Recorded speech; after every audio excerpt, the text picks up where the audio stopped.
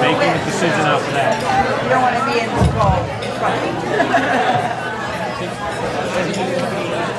Good evening, everyone. We're going to have a wind break behind you, so you might want to sit down sit. Good evening, everyone. We are Die Gemütlichen and Schuhplattler.